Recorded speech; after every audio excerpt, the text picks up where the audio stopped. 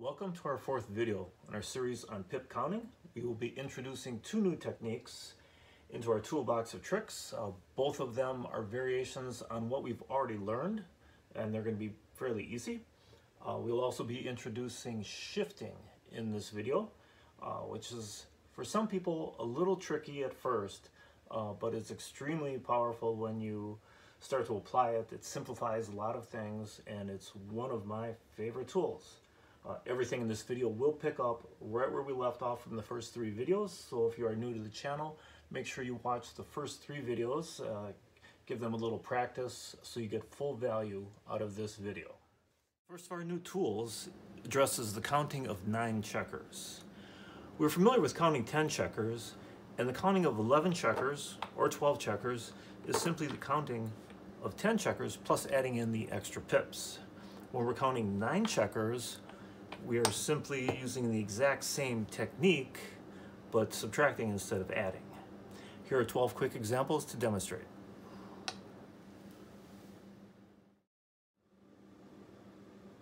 Our first example, here's our nine checkers. Here's the formation we're familiar with, 40. So this is simply 40, missing five is 35. Next example, nine checkers. Here's our known formation, 40, missing two, 38. Next example, here's the formation we are familiar with, our missing checker, 30, missing four, is 26.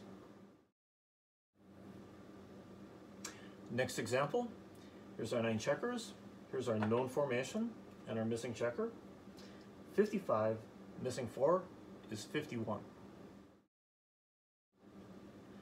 Next example, nine checkers, our known formation, 25, missing three, 22. Next example, our known formation, our missing checker, 45, missing six is 39. Next example, here's our known formation, our missing checker. 50, missing 5 is 45. Next example, here's our known formation and our missing checker. 20, missing 1 is 19. Next example, here's our known formation, here's our missing checker. 50, missing 3 is 47.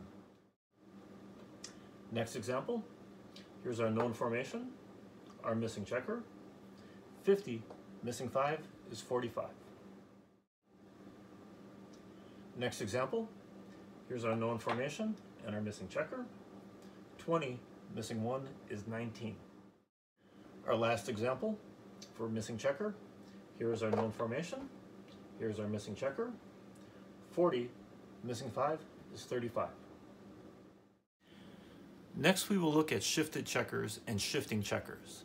Think of shifted checkers as if someone has moved one or more of your checkers from one of your known formations. Shifting checkers is different.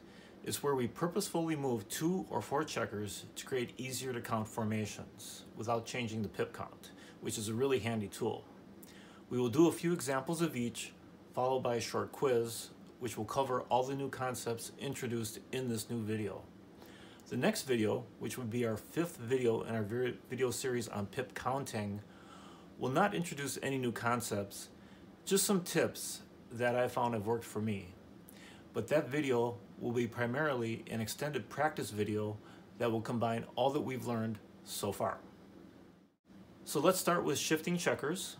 One thing to note that in these examples, I will be moving checkers on the board. And that's something you really don't want to do when you're playing live. Uh, you can move checkers up 56 to help visualize counts, but you really don't want to be moving checkers to new points. So let's get started. So this is our first example for shifted checkers. We can see that this is our known formation, but this checker is on the one point. We simply look at this as five less than 50. So this is five less than 50 45. In our next example, we have the checkers we'd like to count. We have our known formation. This is simply 3 more than 50, 53. Our next example, our checkers we'd like to count.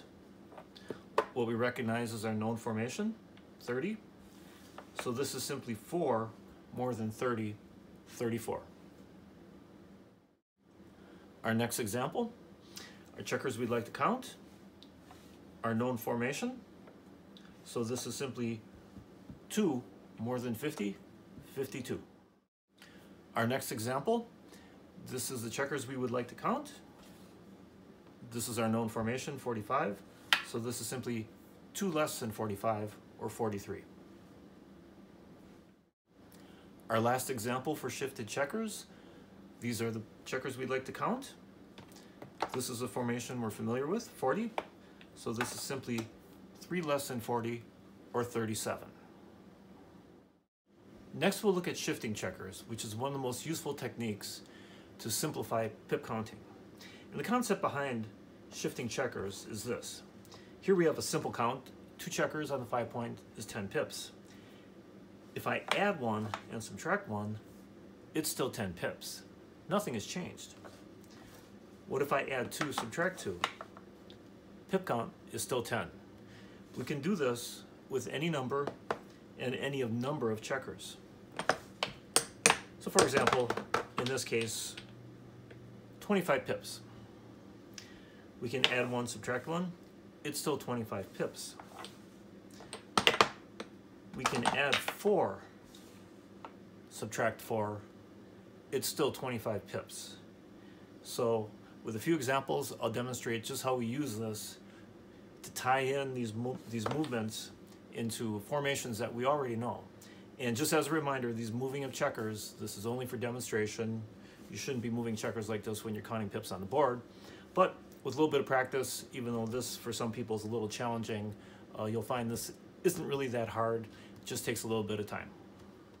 So our first shifting example, these are the checkers we'd like to count. We can add one, subtract one, and we get a very simple formation that we already know, 40. Our next example of shifting, here we have a count. It doesn't really look like anything we know, but if we add one, subtract one, it simplifies. Pip count is 30. No need to count anything here. Our next example,